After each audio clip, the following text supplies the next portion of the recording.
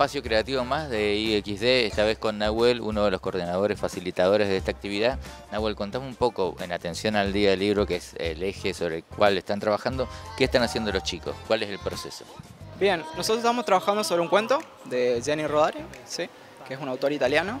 Eh, estamos trabajando una versión de Pinocho que, que justamente propone tres finales distintos, donde los chicos eh, eligen uno de los finales y después lo representan en base a las partes del cuento, que ahora lo están haciendo. Cuando hablas representar en base a las partes del cuento, hay una elaboración, eh, digamos, ellos reestructuran el cuento, le agregan pasajes al cuento o, cómo, o toman literalmente el relato. Toman las partes, digamos, estamos trabajando el principio, problema y final, ¿sí? Eh, cada grupo tiene un final distinto, eh, eligen la parte del principio que, que le pareció más importante, el problema, obviamente, sí, seguían por el problema, el conflicto del cuento y el final que eligieron. ¿sí? Después de esto, el primer proceso, para un poco entender las partes del cuento, que después lo vamos a llevar a, escena en el teatro, eh, con títeres de dedos, que lo vamos a hacer en el segundo turno. Em, este proceso, perdón, lo venís haciendo, ¿no es cierto? Ya con anterioridad, con otros grupos. ¿Cómo, ¿Cómo funciona? ¿Cuáles son las partes que a vos, eh, desde tu perspectiva como facilitador, te parece que son o resultan ser más interesantes para los chicos?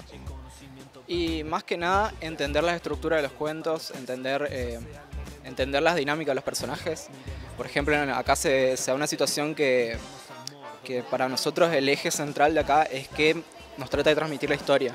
En este caso, Pinocho habla sobre la mentira y, de la posibilidad de Pinocho, por ejemplo, que sea alcalde de una, de una ciudad, pero haya, llegado a eso con mentiras y todo eso. Eh, eh, se va haciendo como más consciente en ellos ese tipo de cosas. Eso es lo que tratamos de trabajar acá más que nada. Para cerrar, eh, ¿qué representa para ellos y para ustedes en el proceso la parte de la construcción, del, desarrollo del elemento en sí como tal? Y si ese elemento se queda acá, se lo llevan, se apropian de ese elemento los chicos. Sí, hay muchos casos que se llevan las producciones, en este caso se las van a llevar. Eh, bueno, esto es una producción grupal, a veces quedan, también para que muchos chicos que vienen después eh, puedan ver lo que se trabajó y todo eso acá. Última pregunta, Nahuel, y para cerrar esto que es un informe en uno de los espacios creativos de IXD, vos de chico tuviste oportunidad de trabajar esto que hoy estás eh, posibilitando, que trabajen ellos. Bueno, siempre lo que siempre digo es que ojalá a mi edad, que en mi niñez hubiese habido un lugar como infinito, porque es increíble. O sea, eh, el Minilab por lo menos es el lugar donde ingresan los más pequeños y después si cumplen nueve pasan los demás laboratorios donde desarrollan todo el resto de las actividades. Eh, para mí es súper importante. Yo soy, me formé en teatro, eh, me parece, esto de contar historias me parece increíble, me parece... Llega a una parte sensible que me parece que es muy necesaria para los chicos hoy en día. declaraciones profundas de la gente que trabaja acá en el marco de Infinito por descubrir. Deja de luchar, no te lo tomes personal. Deja la pasar, que siga su curso natural.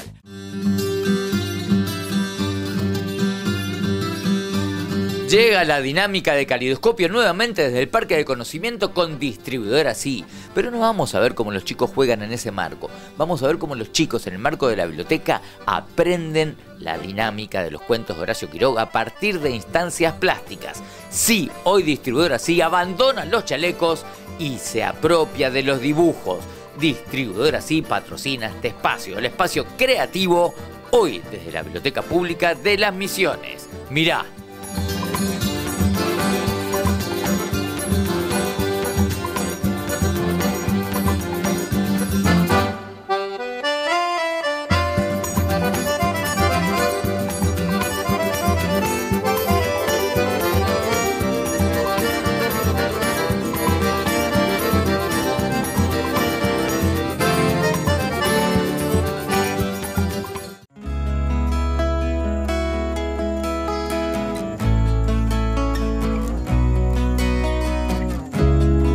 La presencia del ET17 en Calidoscopio ha sido realmente increíble. Compartimos diferentes escenarios, recorrimos la provincia, nos quedamos empantanados más de una vez en estos caminos benditos de esta bellísima provincia de Misiones y con ellos compartimos la alegría de muchos niños del interior.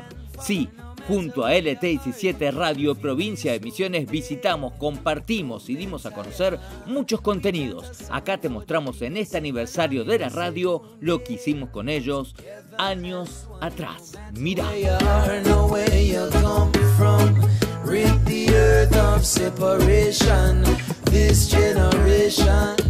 Sí, la idea es llegar a muchos más lugares y, todavía supuestamente más escondidos. Acá es un lugar visible, estamos en el medio de una ciudad, pero hemos ido a lugares fantásticos y, y seguiremos justamente buscando esos recovecos de la provincia de Misiones para visitar.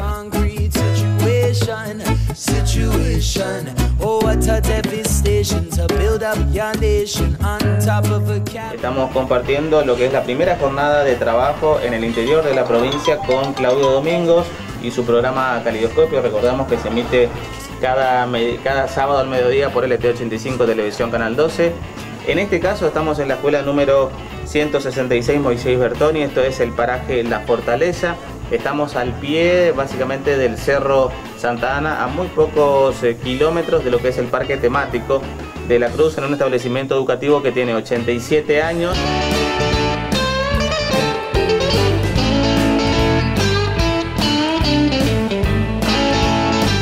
Muchísimas gracias Gustavo. Continuamos aquí en el Instituto Educativo Los Lapachos de esta localidad ubicada en el norte de la provincia de Misiones. Contanos qué ya hiciste hasta ahora con los chicos y qué otras cosas vas a hacer durante la mañana y también la tarde, tenemos entendido. Bueno, el compositivo de caridoscopio tiene varias partes que son eso que pertenece a la estructura conceptual, que son por ejemplo el momento de los cuentos que aún no se ha desarrollado y que bueno, justamente moviliza y potencia toda la creatividad e imaginación de los chicos. Es por eso que nosotros hace años encaramos esa, esa, parte del proyecto de Caridoscopio que se llama Cuenta Cuentos y lo vamos a hacer en un rato más. Pero sí lo que hemos hecho es jugar, como bien lo decías, con los papás un momento, integrando esta circunstancia de padres, niños, pero vienen un montón de grabaciones más, vienen un montón de circunstancias y contenidos de las que LT17, Ariel Gauto, Claudio, y el conductor que está afuera, presumo, son parte, sí, el señor Ricardo, son parte justamente de, de ese devenir de contenido. Cuando la gobernación de Misiones y la gente del parque nos, nos vino a ver a la Universidad Nacional de La Plata y tuve la, suerte de conocerlos desde el laboratorio de óptica de nuestra facultad. Eh, para mí fue un gran orgullo saber que había un proyecto de esta envergadura, que es único en el país, en Argentina, hay muchos proyectos de planetarios, ideas de, transmitir los conocimientos desde, desde lo regional, lo local, ciudades que hacen un esfuerzo enorme para que sus chicos puedan acceder a este conocimiento, pero realmente creo que Misiones ha dado un paso de calidad, sobre todo porque el federalismo es parte fundamental en la integración de los conocimientos y ver que hoy Misiones puede estar insertado en la red nacional de astronomía, tanto educativa como científica, eh, demuestra que el camino es este, sin ninguna duda. Tener un centro que lleve los nombres de Buenaventura Suárez, Carl Sagan, Stephen Hopkins, no es menor. Eh, esos nombres llevan la impronta de una historia de la provincia y una historia de América.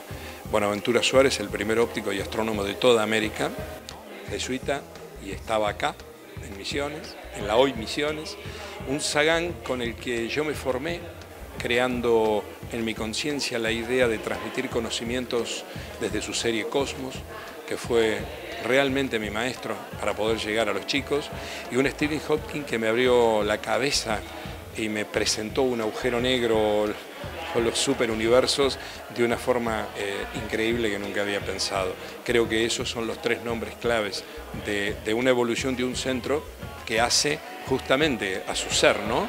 Eh, lo académico científico y lo educativo recreativo.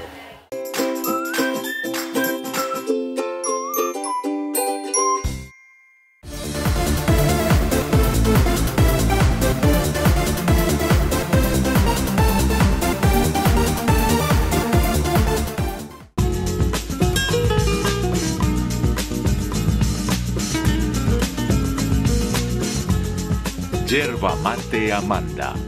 La maduración justa.